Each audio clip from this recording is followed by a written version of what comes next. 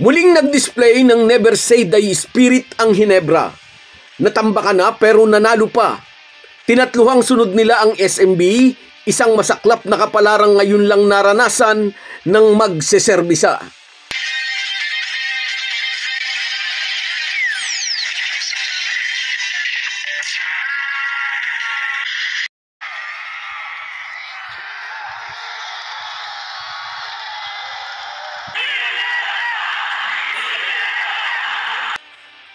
Handa na raw sana si Coach Tim Cone na i-pull out ang kanyang mga key players sa third and fourth quarters.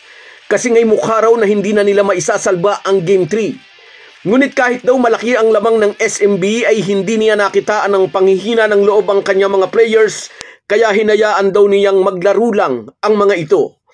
Pero talagang plano na raw sana niyang pagpahingahin ang core ng team at ihanda na lang ang mga ito sa Game 4. Ngunit mukhang ayaw na ng kanyang mga bataan na magkaroon pa ng Game 4. Mas makabubuting pagbakasyonin na nila ng maaga ang mga aliporis ni George Gallen. Mas makapagpapahinga sila ng matagal kung secured na ang kanilang final slot habang nagbabakbakan pa ang Tok and Tex at Meralco sa kabilang pairing.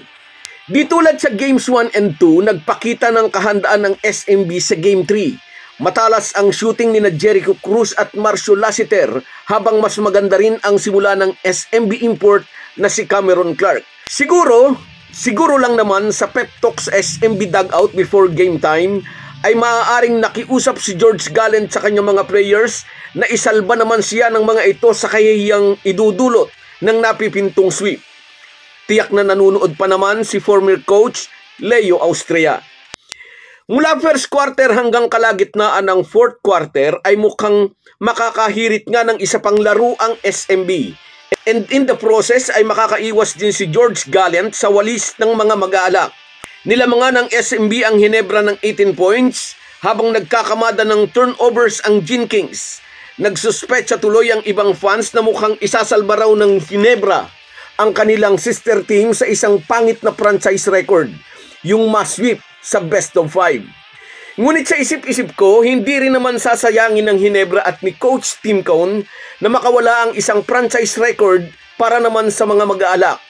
Yung makapagtala sila ng sweep sa semifinal series laban sa kanilang karibal.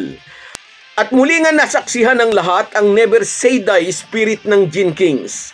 Muling naalala ni Coach Tim Cone ang kanyang idolong si Robert Jaworski nang matapos ang Game 3 That's an SD spirit display at its best.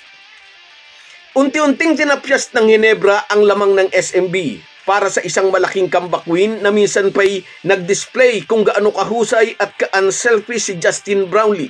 Sa post-game interview, nasabi na lamang ng dismayadong SMB coach na si George Gallant, mukhang nakontento na raw ang kanyang mga players sa pagiging semi-finalist. Malas lang, sabi naman ng mga writers and editors ng Spin.ph. Natapat nga raw kasi si George Gallant kay Tim Cone ng Barangay Hinebra.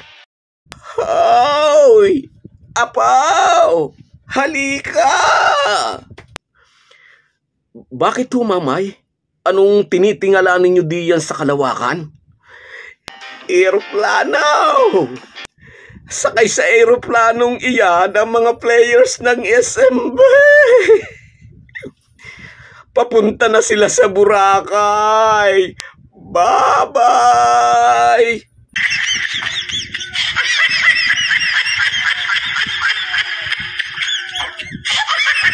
Kayo mamay, napakahusay ninyong mga tiyaw.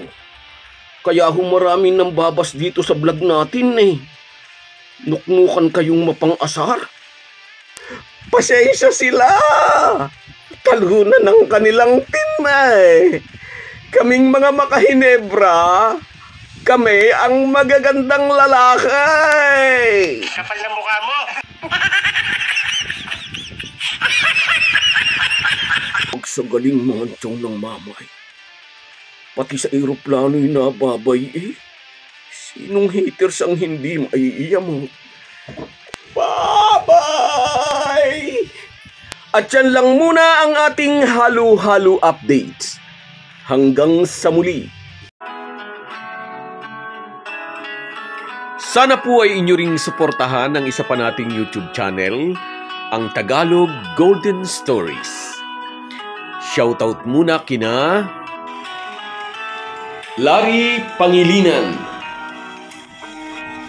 Juliet Cinco. Lina Cargulio. Andres Cater and Benedy Romney Kapukyan Michael Vicente. Bernie Roland and Rodante Sabida. Maria Luisa Colonia and Ibaristo Caubalejo Benigno Torres and Maria Rosalia Argelius Luna Love Matthew. Rosemary Juan and Greg Kicho. Maiko Anore. Michael Vicente. Galungad Arnold Ocampo Eliza Ruth Rosario at si Jaymond Makiling.